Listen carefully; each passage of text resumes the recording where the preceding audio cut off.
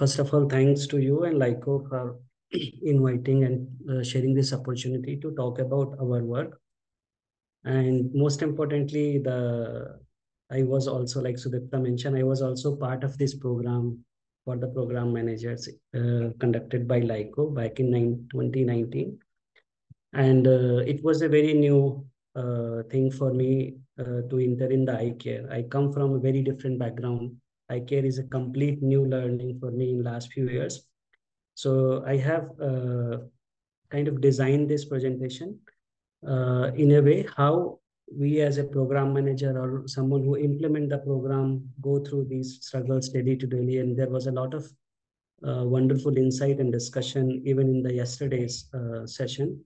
What are the challenges? What are the issues? How we deal with them so i tried talking through them uh, uh getting some experiences from seva program but also many of these comes from the different uh, seva partners uh, in india and outside and also many of the Seva colleagues who have started these programs, they went on and they thrived.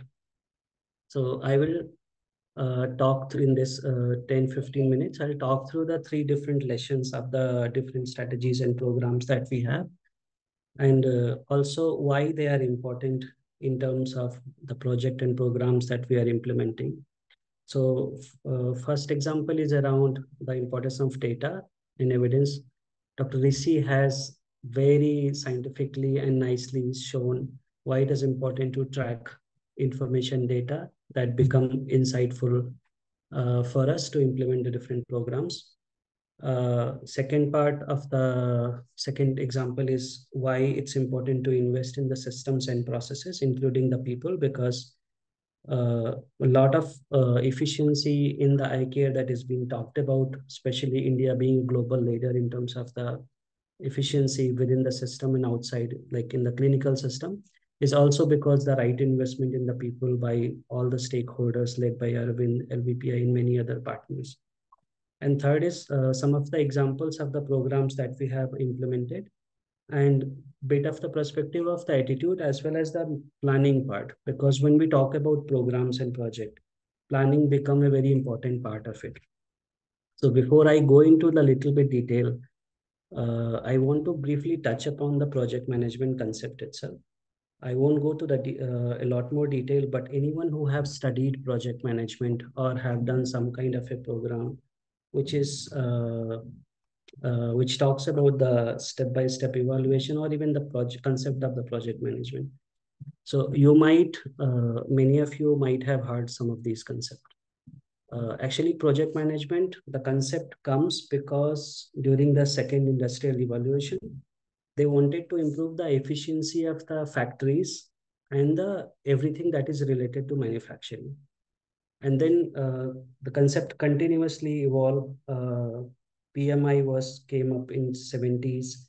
It became a big part of the software companies as well as service companies later on. And now there is a lot of concept of the project management that is being used in the software companies also. Uh, what I'm trying to say here is this idea we have taken from the corporate, from the industry. But this I, the project management itself was never designed for the social development or the health sector or the, the part where human are involved. So although we talk about a lot of these concepts, but they needs to adjust a little, adjusted a little bit in terms of the when we work with the people, when we work with the lot of other dynamic factor where uh, and they become a large part of the work we do. So I will not go a lot more in history of that, uh, but there is a lot of concept and practices that we use from project management in our daily to daily planning. But there is something that I really learned when I was uh, studying project management.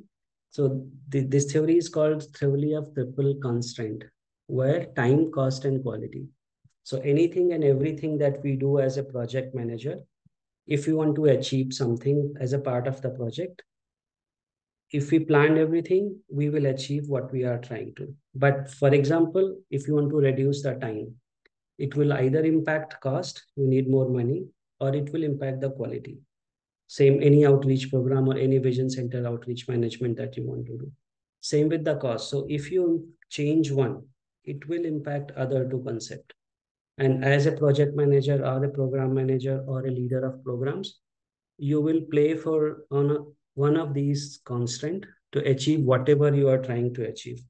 So whenever you say that, for example, a donor is asking report and achievement in lesser time, it will impact either the quality or the cost.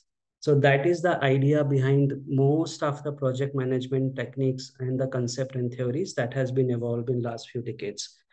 Uh, why I talked about it? Because it actually very much realistic to the work that we are doing. And you can always read more about it, how it impact others. So because of the time, I don't, I won't go into the lot of details of this one. And all of this information is also readily available online if someone wants to study. Uh, now, as we, I noted that it's important to talk about human part of the social development because we are talking about project management, program management. These days, software company talks about agile approach to the project management. End of the day, uh, they have a more controlled factor. But when we work with the people, when we work with the patient, they become something very dynamic and different. So in 2019, when I was, when I came to eye care and went to Aravind also to do this course, uh, I think Mr. Nagarajan or someone at the Aravind shared uh, this uh, documentary called Infinite Vision. If you haven't seen it, please uh, see it's a there is a YouTube link on Aravind website, but also it talks about a lot of the human part that generally when we are sitting in the computers talking on the reports, we miss this part. But also I really uh, feel encouraged by the quote uh, that Dr. Venkataswamy uh, I mean, it's come uh, come from the Aravind website, and it says that intelligence and capability are not enough. There must there must be a joy of doing something beautiful. So we, as a program people, if we are enjoying whatever we are doing, it becomes less of the burden and more of a uh, achievement and more of a you you like you start working your own liking your own work so it become easier it become less of a work more of a reward and uh, also, when you go through the this documentary of Infinite Vision, Dr. V says, uh, he was talking probably in some of the conference. He says, here is a soul that has all the simplicity and confidence. He's talking about a lady who came to him for, uh, for the, I think, any eye care problem.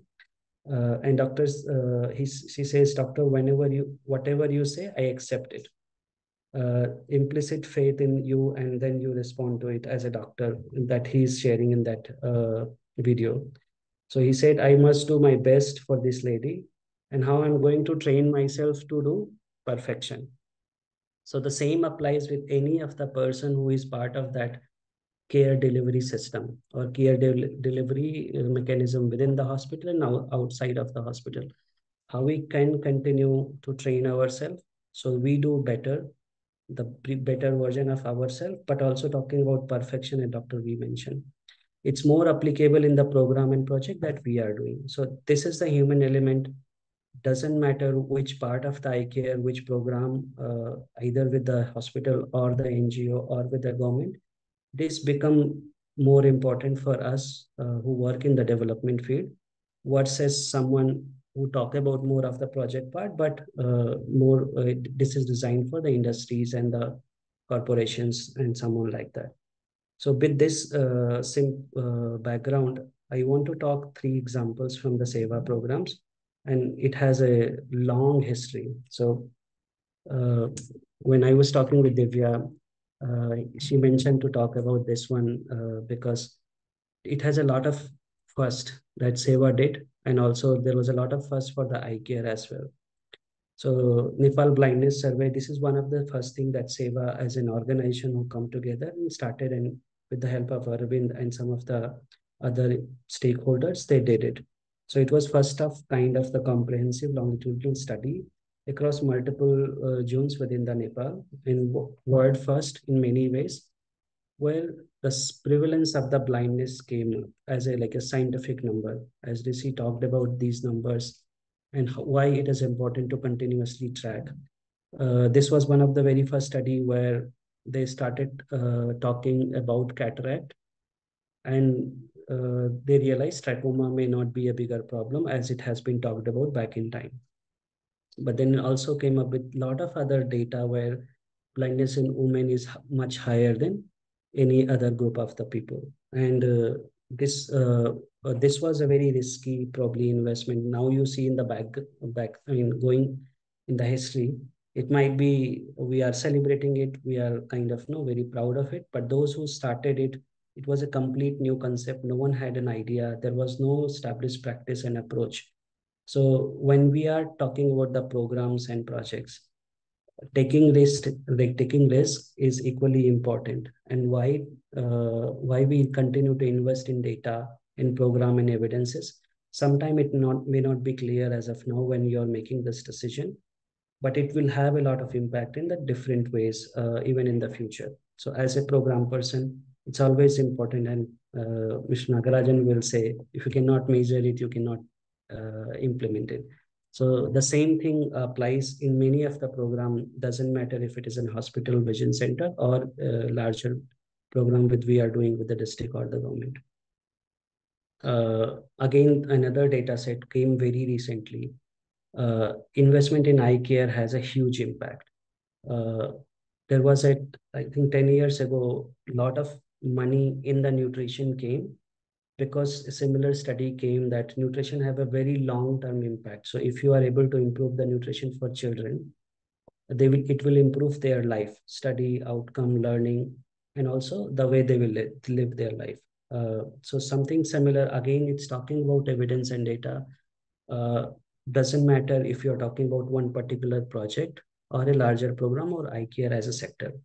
So when we talk about eye care, uh, especially when I came in eye care, there was a lot of discussion. There is a very less budget for eye care. But also we need to understand it's not always right that if you have a lot of budget, it become a program of the super most important. One example is uh, one program of Ministry of Rural Development, MGNREGA, Mahatma Gandhi Rural Employment Program, have almost the same budget equivalent to the Ministry of Health total budget. That is only one program of rural. But can we come up with the conclusion that uh, health program are lesser important than one program of the rural development? Not so. Uh, budget is part of the process that goes to uh, achieve certain things. But even if there is a lesser budget or more budget, we can of course argue there is a need of more budget. But maximum budget never means it's the program for the which is the most important one for government because uh, government uh, decide the uh, priorities based on many other factors. And higher budget should not be the indicator of that this is the most important for the government. Although we need more investment in the eye care through the different programs. Sudipta also talked about uh, PMJAY why it is important and why it has fueled a lot of uh, surgery in the different areas where there were no uh, not access.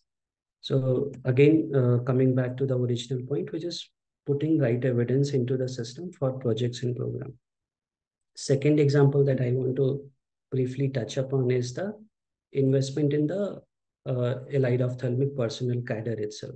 Uh, and I would say that many of the people in this room have uh, a lot more knowledge than probably what I can share here.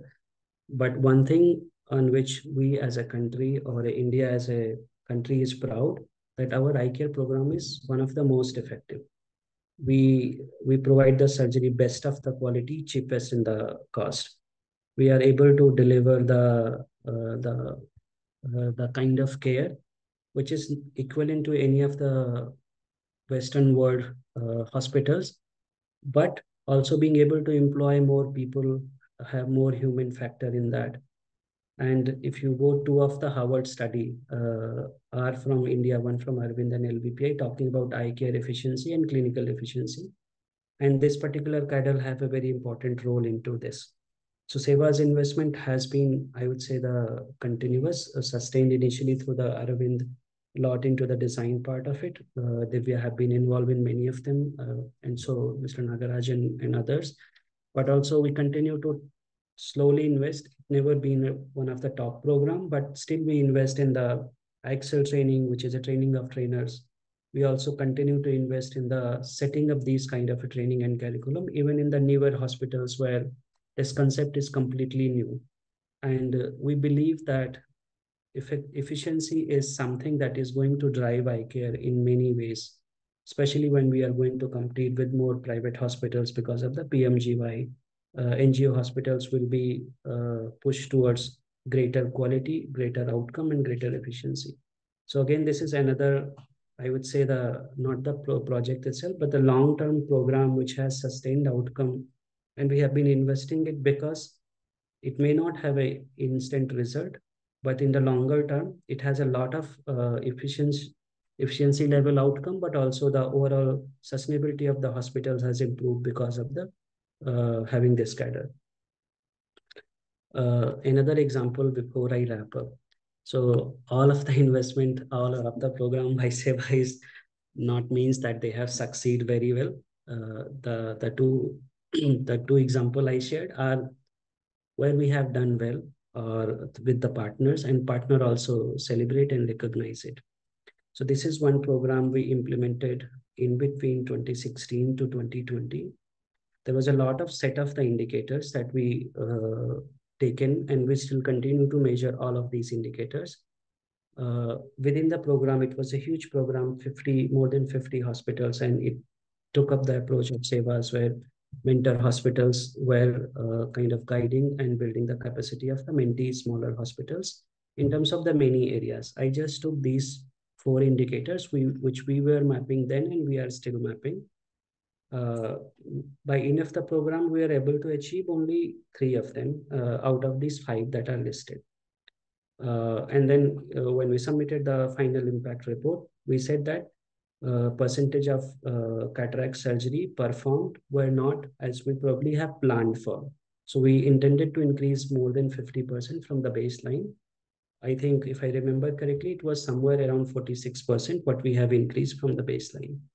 Another outcome was uh, when, and these are, were planned in 2016, a long time back when we started talking about these definitions. So increase the post-operative visual outcome of the hospitals, 85% or better. Uh, that what we wanted to achieve. And it was done actually in 2019 before COVID. Uh, close to 60% hospital have achieved this outcome. Again, uh, we wanted to have more than 50% women in the uh, getting the cataract surgery in the partner hospitals, which was uh, somewhere around 46%, but we were not able to, sorry, 47%, but we were not able to reach to 50% women. Same with the increase in the revenue from the cataract surgery as well as uh, cataract, uh, sorry, spect, uh, spectacle acceptance. Uh, what I'm trying to make a point is although we couldn't achieve them by 2019, but some of these indicators, as we continue to monitor, uh, they have improved a lot. Uh, one, because there has been a constant focus and there has been a lot of effort by the partner hospitals as well as uh, the data that we have been tracking. So in 2016, when we started this intervention, the OPD in the partner hospitals were 21 lakh, uh, close to 50 to 55 hospital which increased to 37 lakh in 2019-20 when we increased, when we stopped this program. But still, uh, at this moment in the last year, the same group of hospital have 44 lakh of OPD in the system, which is like more than 100% increase in the last uh, last 10 year or so. Actually, last eight year. Similarly, if you see the uh, surgical acceptance in these part hospitals. 16, it was 36% increase to 47% in 1920, which is on a uh, whole set of the 50-55 hospital. It is 68% at this moment. So again, the program couldn't achieve whatever we intend to, but even those failure and everything that we put into the systems and processes and training and mentoring, and there was a vision building process for each hospital done by the mentor hospital it has resulted in uh, uh, more than uh, more than 30% increase in the acceptance of the surgery in those hospitals. So again, all of the project that we plan for, I have the data for others, but I will stop maybe here and uh, go back to the discussion what we wanted for. Uh, everything that we thrive or aim for may not be achieved in a in a way we want, but the continuous investment and perseverance is something that bring the result in the longer term. And come, because we are working with humans, a lot of dynamic factors, as well as the systems and processes, it may take some time, but if you continue to put, uh, continue to invest in the people and right kind of system and processes, it will bring the result to the project or the program we want to. Thank you.